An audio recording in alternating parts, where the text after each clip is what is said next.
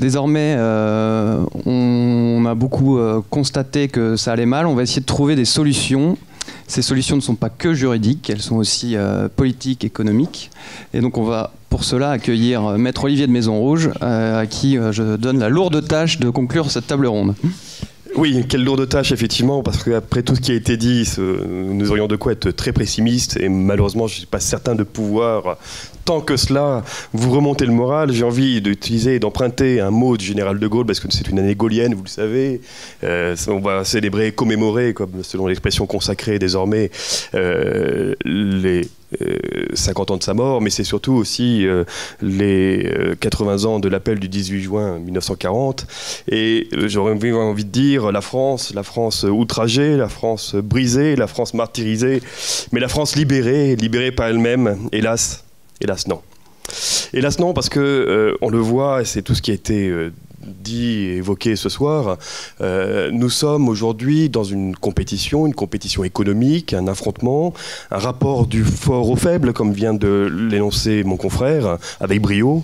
Et euh, tout cela démontre que le droit est de plus en plus instrumentalisé dans cette compétition économique, dans cette guerre économique. Et euh, j'ai envie de revenir avec vous un petit peu déjà sur les aspects systémiques de cet euh, affrontement, à savoir que nous avons différents systèmes juridiques qui prévalent dans le monde, et à savoir, que nous avons, nous, notre vieux fond romano-germanique qui a prévalu, et face à cela, on a vu émerger depuis au moins 1945, mais déjà avant, euh, le droit anglo-saxon, et le droit anglo-saxon qui emprunte beaucoup à la morale, c'est ce qu'a été d'ailleurs le, messianisme originel de la fondation de la nation américaine, euh, qui au départ était d'abord une nation protectionniste, avant de partir à la conquête des marchés. Il faut regarder déjà ce qui s'est passé en 1945. 1945, euh, la France euh, et l'Europe étaient abattues, désindustrialisées. Il a fallu financer la reconstruction, financer l'industrie. Et à l'époque, euh, la puissance financière mondiale, ce sont les États-Unis. Les États-Unis vont projeter un pont avec la vieille Europe en finançant avec le plan Marshall. Mais c'est un peu comme un porte-avions, on envoie des armées, il faut une flottille pour protéger ces investissements. La flottille, ça va être les premiers cabinets anglo-saxons qui vont arriver sur la place de Paris. Donc la plupart des entreprises qui vont être financées, l'industrie va être financée par des dollars américains, on va commercer en dollars, et la plupart des conseils juridiques vont être des cabinets anglo-saxons. Alors, j'en connais, et vous en connaissez sans doute. Tous me disent, oui, mais j'ai des chaussettes bleu, blanc, rouge, je suis français. Euh, enfin, euh, la déontologie, on va en parler tout à l'heure, parce que ça fera partie peut-être des contre-mesures. Quand on parlera de conformité, je préfère euh, l'éthique et la déontologie à la morale et à la fausse vertu de la conformité.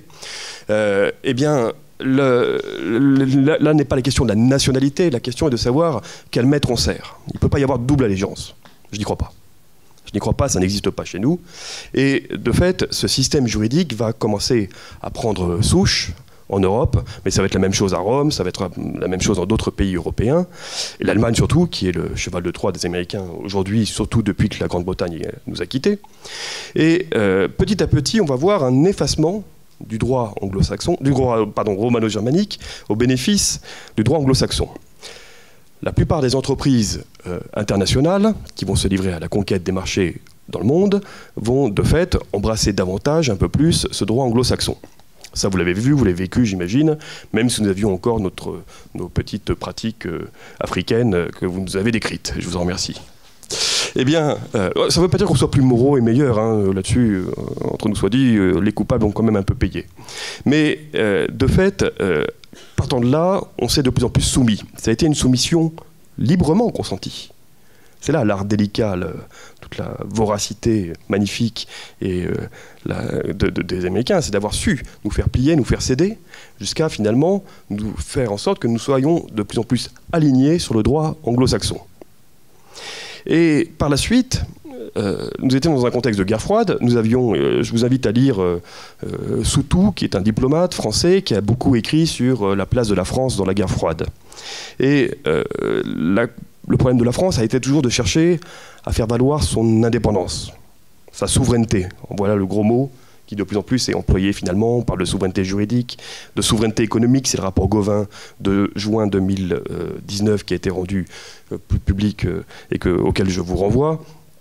Et que je vais évoquer, euh, mais le principe de la souveraineté qui est inscrite également euh, sous la forme de la souveraineté nationale et représentative au sein de dans notre constitution gaulienne, celle du 4 octobre 1958, eh bien, euh, de fait, la souveraineté va s'effacer également, puisque nous allons voir de plus en plus des lois être davantage dictées, et finalement, le raffinement ultime, parce qu'on a beaucoup parlé de corruption, pour moi, la meilleure, la pire ou la, meilleure en termes de raffinement des corruptions, c'est bien peut-être la corruption intellectuelle, la colonialisation de nos élites, qui de fait vont être de plus en plus enclines à amener à nos entreprises et également nos lois à être de plus en plus inspirées du droit anglo-saxon. Et euh, je vous ai parlé de guerre froide la fin de la guerre froide, qu'on va acter, euh, on dire début des années 90, va, faire, va voir émerger la fin d'un monde bipolaire, le camp dit libre auquel nous appartenions, dans lequel notamment le général de Gaulle avait cherché de faire valoir l'indépendance, notamment en termes de dissuasion nucléaire et autres. Nous étions euh, tout à l'heure euh, dans la salle, l'ex-salle du Conseil de l'OTAN, où nous avons digressé sur euh, la guerre économique déjà, et donc c'est déjà notre deuxième conférence ce soir, raison pour laquelle nous avons déjà une voix fatiguée. Mais pour autant, pour revenir à ce qui s'est passé, la fin du mur de Berlin a fait basculer le monde dans un monde bipolaire à un monde unipolaire. Comme l'a exprimé, comme l'a fort bien dit Ali, les services de renseignement américains se sentis démunis. Or, ils avaient des budgets, des budgets colossaux. Et voyant que la fin, la fin des guerres conventionnelles, euh, ils ont voulu se livrer à une guerre dite asymétrique et employer tous les moyens, toutes les ressources qu'ils ont exigées pour pouvoir réorienter dans la sphère économique. Et c'est là où on est arrivé à finalement utiliser des moyens, des ressources exorbitants, qui n'étaient plus à des fins seulement de sécurité, de sécurité nationale, mais également à des fins économiques. Et nos entreprises ont été des proies qui ont été employées.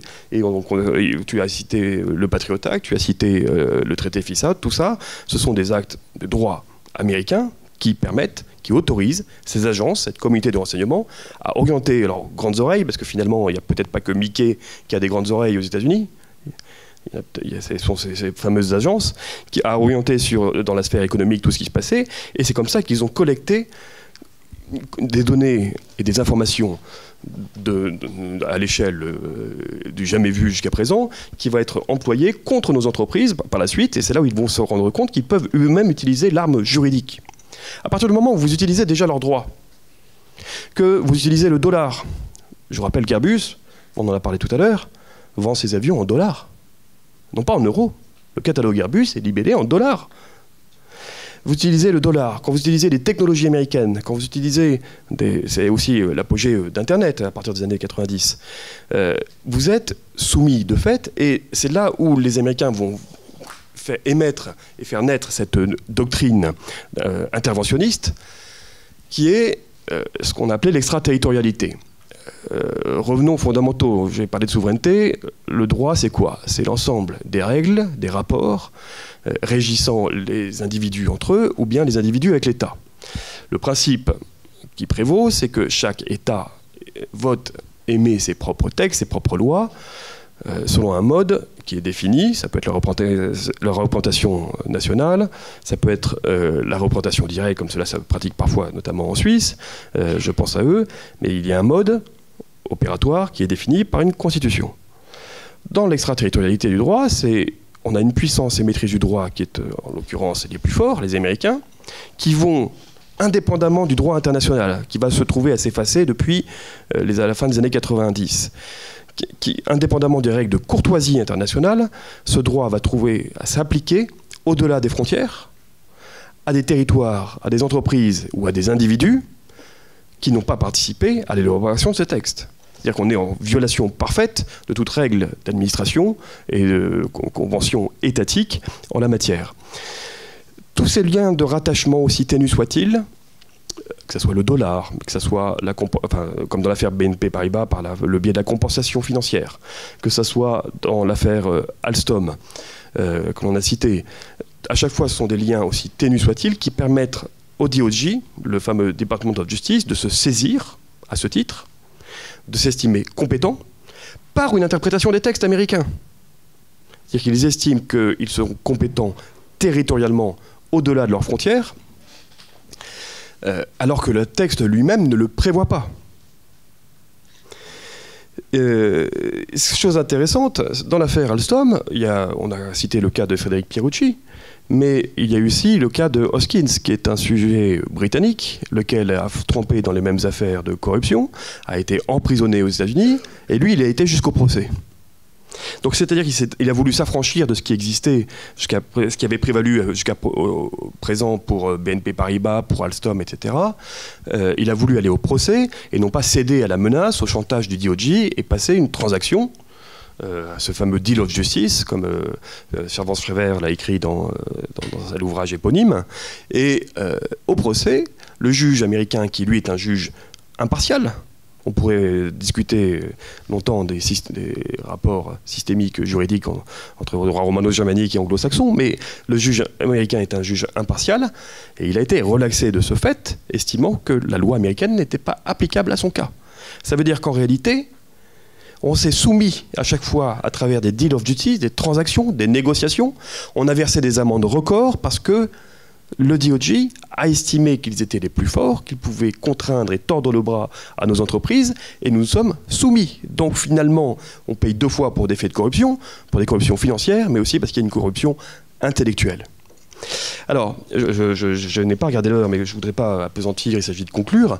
Euh, s'il faut parler de contre-mesures, une des contre-mesures a été, euh, vous l'avez entendu, bon, la loi de blocage, euh, le Blocking Statute, en fait, de 1996, révisée par le règlement du 7 août 2018. C'est un sabre de bois. C'est un sabre de bois parce que, comme l'a indiqué mon confrère, ça n'est pas applicable, enfin, ça n'est applicable qu'à une zone géographique. Écrire article 2 que euh, les textes ou les sanctions n'ont pas d'effet, c'est bien gentil, mais comment ça se passe quand on est à l'étranger, qu'on intervient à l'étranger. On ne peut pas dire que ça ne s'applique pas quand on est contraint de payer. Quand on s'affranchit soi-même des règles françaises, notamment en matière de transmission de preuves à, l'étranger, etc.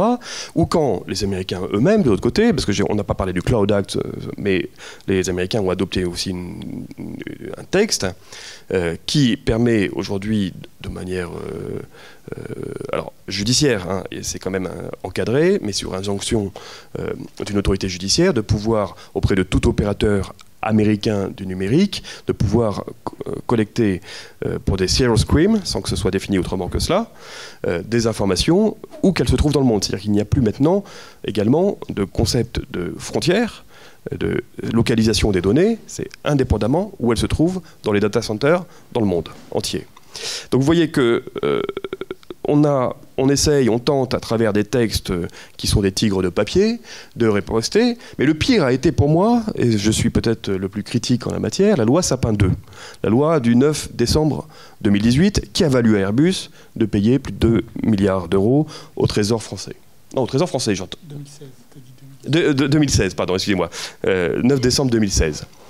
La loi euh, Sapin 2 n'a été que cette euh, alignement et cette nouvelle standardisation du droit. Et on s'est inspiré directement des règles de l'OCDE qui elles-mêmes sont inspirées du FCPA. C'est-à-dire que nous avons maintenant introduit en droit français, ni plus ni moins, les règles anticorruption américaines. Avec les mêmes principes de monitoring. L'AFA, l'Agence française anticorruption, a fait un appel d'offres pour, tout ce qui est du monitoring. Ce sont des cabinets anglo-saxons qui ont porté les marchés. Allez voir, hein, regardez, c'est public. Donc c'est merveilleux. On parle de guerre économique.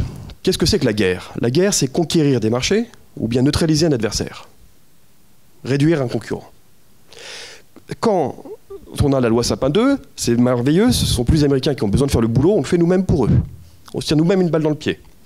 Airbus va quand même s'appauvrir de 3 milliards d'euros. C'est pile son résultat de cette année.